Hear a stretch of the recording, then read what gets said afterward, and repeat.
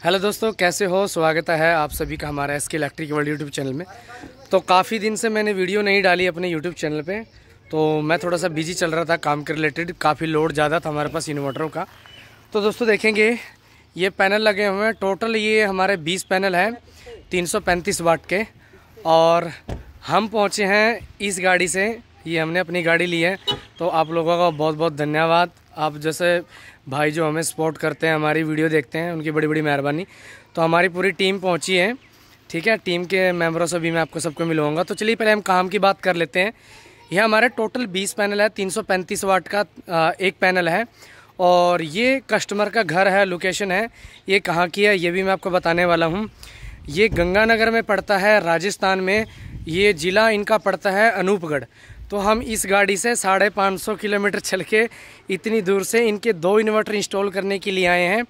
एक इन्वर्टर इस घर में इंस्टॉल हुआ हुआ है और दूसरा इन्वर्टर की लोकेशन में एक बार यहाँ से दूसरे घर की लोकेशन जो है, यहाँ से थोड़ा दूर है। तो मैं थोड़ा सा फोकस करने करके आपको कोशिश करूँगा दिखाने की। ये वाला जो मकान है, यहाँ पे थोड़ा सा यहाँ पे है वो मकान। तो थोड़ा सा यहाँ लगभग जो है, एक डेढ़ किलोमीटर है। ये पैनल देख सकते हैं। टोटल ये इनका पैनल है। ये घर की लोकेशन है, ये हमारी टीम खड़ी है, ये हमारे टीम के मेंबर हैं तीनों।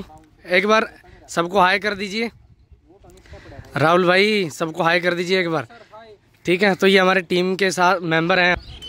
ठीक है जी तो इन्होंने हमारे साथ मिलके, ओ सॉरी मेरे साथ मिलके इन्वर्टर इंस्टॉल किया, सब कुछ इन्होंने काम किया। अगर मैं तो यहाँ पे कनेक्टर ये दस दस की सीरीज़ थे, इन्होंने पैरलर किया हुआ था, ये पाइप के साथ ऐसे दबा के। और बाद में खुदवा के पाइप डलवा देंगे और इन्वर्टर लगा हुआ है अंदर। तो चलिए मैं आपको एक बार इन्वर्टर दिखा देता हूँ और चेक करा देता हूँ आपको मैं पूरा लोड। उसके बाद हम बातें करेंगे कि क्या है, क्या नहीं, कितने किलो वाट वो सब आपको वीडियो में बताना है। तो यहाँ से वायर डाल के यहाँ पे डाला है। हम हैं राजस्थान, लगभग करनाल से साढ़े चार सौ, पाँच सौ किलोमीटर दूर। तो ये हमारा सेटअप लगा हुआ है यहाँ पे, ठीक है? और ये इन्वर्टर ऑन है हमारा। अभी अगर लोड की बात करूँ तो मैं टोटल इनका साढ़े तीन एम्पेयर का जो है लोड चल रहा है तीन पॉइंट बाईस, ठीक है? तो चलिए एक बार हम इनकी टोका मोटर चलाते हैं, जिसे हम देसी भाषा में गंडासा या चारा काटने वाली मशीन बोलते हैं, ठीक है?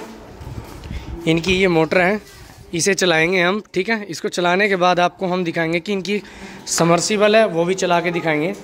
तो संदीप भाई जाइए वहाँ पे एक बार, मोटर को ऑन करिएगा। राहुल जाओ।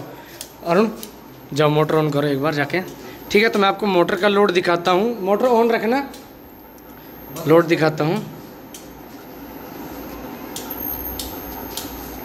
ठीक है?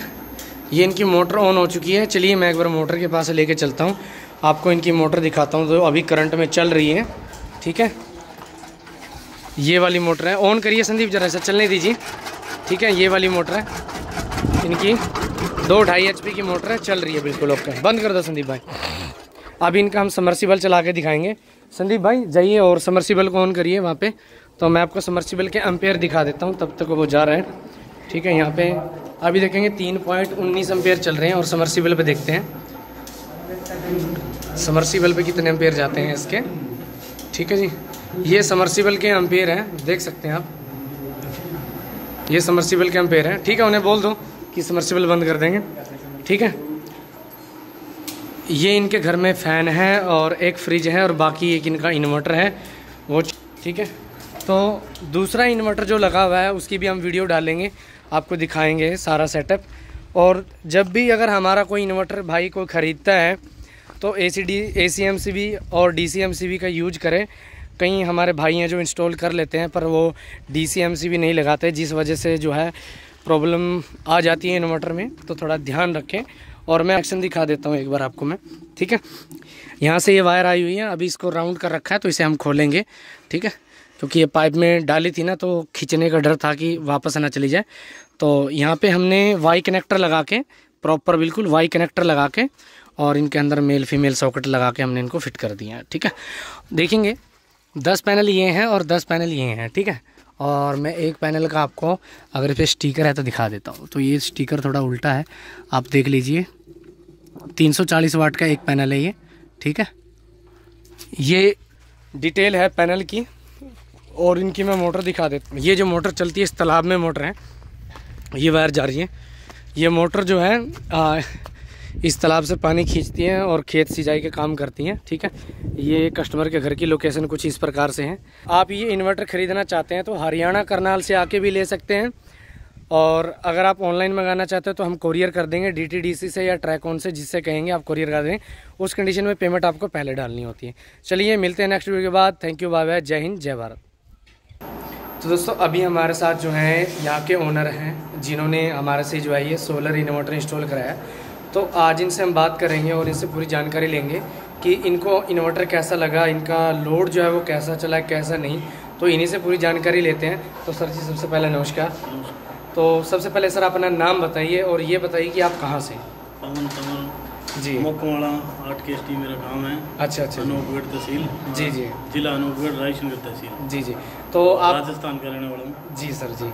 आपका लोड कितना चला? सारा चला? कैसे चला? वो सारा बताइए। पाँच किलो वाट का लोड है। जी। और जो हमें समर्सिबल चलाया। हाँ जी। एक मशीन वाले कुत्र वाला जो टोका होता है वो हाँ चलाया। हाँ जी हाँ जी। और जो मोटर आम लोड जो है ठीक है जी घर का। घर का जो जितना भी लोड है। सारे फ्रिज पंखे आपके?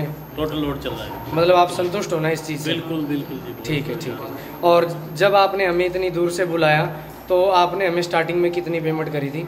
दस हज़ार रुपये डाउन पेमेंट डाली थी ठीक है जी ठीक है। Thank you sir okay